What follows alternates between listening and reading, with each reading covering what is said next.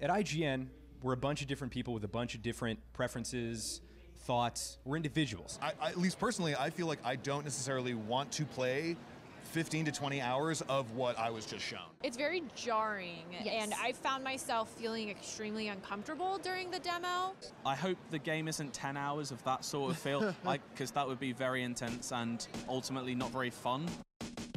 Nie ma lepszej rekomendacji dla gry wojennej niż zmącony spokój malujący się na twarzyczkach dziennikarzy IGN-u zaraz po obejrzeniu gameplaya. Początkowo żurnalistom nie spodobało się, że gracz przeszukując pomieszczenia musi szybko podjąć decyzję o tym, kto jest niegroźny, a kogo trzeba będzie zastrzelić. Oczywiście gracz stworzy takie sytuacje i w efekcie część z nas o słabszych nerwach zastrzeli cywila biegnącego po swoje dzieci zamiast po broń. Jednak gry od zawsze testowały nasze reakcje, wrażliwość i kompas moralny, ale przede wszystkim pozwalały nam się zanurzyć w świecie zupełnie obcym, dalekim od codziennej rutyny. Nie każda produkcja wojenna zawiera wysoki realizm i silny przekaz emocjonalny, ale też nie każda powinna.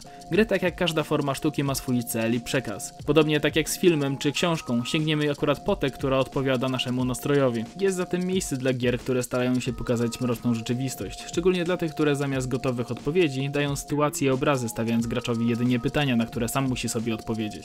I uważam, że przydałoby się więcej takich tytułów jak na przykład Spec Ops The Line. Dziennikarze określili najnowsze Call of Duty Modern Warfare jako niepokojące i zbyt realistyczne. Niektórym nie spodobało się, że będziemy strzelać również do kobiet, ale był to argument słaby jak na mainstream. Zatem punktem oburzenia stał się biały fosfor, broń zakazana przez Nowy Świat, bo dzisiaj zupełnie akceptowalne jest, gdy ktoś na wojnie zadźga cię nożem albo dostaniesz kulkę. Ale użycie broni chemicznej to już wykracza poza rządową definicję człowieczeństwa. W multi atak białym fosforem miał być nagrodą dla sprawnych graczy, dlatego dziennikarze i aktywiści poczuli się urażeni w imieniu wszystkich weteranów wojennych oraz ofiar cywilnych. Znaleźliśmy się w sytuacji, w której o grach piszą ludzie, dla których gry nie są rodzajem hobby, a jedynie ich pracą. I w sumie trudno się dziwić, do dziennikarstwa gamingowego dużo łatwiej się dostać. Tutaj wątpię, żeby ktoś się taki znalazł, ale jeśli ktoś powie, że gry nie mogą być hobby albo że są dla dzieci, to przypominam o milionach kibiców, którzy mówią, że siedzenie przed TV i oglądanie 22 milionerów biegających za piłką to rodzaj pasji, więc tak samo mogą nią być gry.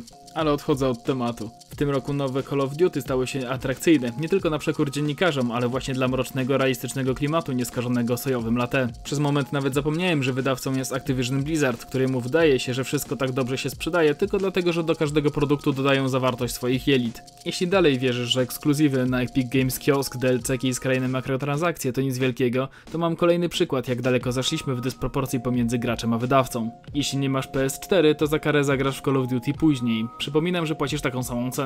A żeby tego było mało, to tryb survival w grze będzie przez rok tylko dla posiadaczy tej konsoli. Przypuszczam, że jeśli takie decyzje przejdą bez echa, to za rok możemy śmiało spodziewać się wysokich rozdzielczości tylko dla tych, którzy zamówią preorder albo sezon pasa. Tryb survivalu raczej nie jest wielkim problemem dla większości graczy i w normalnej sytuacji można by wzruszyć ramionami i wrócić do białego fosforu na multi. Problem polega na tym, że raz zaakceptowane zmiany dają feedback firmom, które i tak wydają sporo pieniędzy na statystyki i ich analizę. Wtedy nie deweloper pasjonata bierze się do pracy, a grupa analityków, którzy mają zidentyfikować wąskie gardła, wskazać obszary, w których należy zwiększyć zaangażowanie i wedle takich instrukcji dostajemy produkt w następnym roku. Powiedzmy, że malujesz jakiś bohomas. Ktoś go zauważa i pyta, ile za niego chcesz. Żartobliwie odpowiadasz, że 10 tysięcy i zanim zdąży sprostować, że to żart, kupiec prosi o zabezpieczenie obrazu, bo za chwilę przyjdzie z pieniędzmi. Od tego momentu już nigdy nie zgodzisz się sprzedać swojego malowidła za mniej i nieważne, że nie wymagało ani pracy, ani talentu, bo ktoś już ustawił dla ciebie granicę, od której będziesz iść tylko wyżej. I tak również jest z gównianymi praktykami Sprawdzają na ile mogą sobie pozwolić, a potem już tylko starają się podwyższać poprzeczkę. Activision tym ruchem cementuje swoją współpracę z Sony, ale robi to kosztem fanów nastawionych na koop. Co prawda w sieci zbierają już cięgi za rozbieranie swojej gry na kawałki, ale to za mało, żeby cokolwiek się zmieniło. Można mieć tylko nadzieję, że okaże się wystarczające, by nie zrobili z tego swoich stałych praktyk. Oczywiście za rok pojawi się nowy Call of Duty, więc gracze zaczną odpływać do nowego tytułu i gra online nie będzie już tak atrakcyjna. To przykre, bo przez ostatnie miesiące, gdy mainstreamowe media szukały jakiegoś haka, żeby się na grę obrazić, kod zyskał sporo wsparcia od fanów. A teraz Activision swoim ruchem pluje im w twarz, bo wszyscy dobrze wiedzieli, że gra będzie silnie monetyzowana, ale nikt raczej nie podejrzewał takiej zagrywki. Otwarta beta w zeszły weekend wedle wydawcy przyciągnęła miliony graczy, w tym wielu nowych. Szkoda, że nie da się świętować tych statystyk w jakiś pozytywny sposób. Activision byłoby jednym z tych znajomych, któremu musisz dać prezent, gdy to ty masz urodziny. Więc jeśli masz zamówiony preorder, a nie jesteś hardkorowym fanem, może warto nastraszyć ludzi w dziale sprzedaży i im go oddać. Przynajmniej na kilka pierwszych tygodni, a potem i tak kupić w lepszej cenie. Tak czy inaczej wybór należy do ciebie. Z kolei dzisiaj ruszyła otwarta beta Ghost Recon Breakpoint i grać będzie można do niedzieli. Dev Team podobno wziął sobie do serca kilka uwag z zamkniętych testów, podobno naprawili nawet sterowanie postacią, o czym wspominałem w swoim filmie.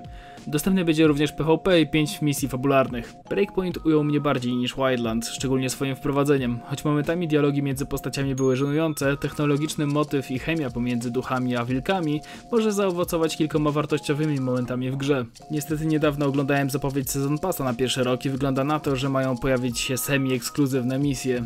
Ubisoft dawno nie było głośno i mam nadzieję, że nie próbują wrócić na szczyt. Jednak więcej o tym opowiem w kolejnych ogreskach. Dzięki za oglądanie. Jeśli lubisz mój content, podziel się nim z kimś, kto również traktuje gaming jako hobby. A także rozważ wciśnięcie czerwonego przycisku z napisem subskrybuj. Jeśli chcesz, aby coś ważnego znalazło się w kolejnych ogreskach, daj znać w komentarzu. Jestem wdzięczny za wszystkie łapki w górę, lecz standardowo jeśli Ci się nie podobało, to łapka w dół jest zaraz obok. I pamiętaj, mówmy głośno jak chcemy, żeby wyglądał świat. Wtedy inni pomogą nam go zmieniać.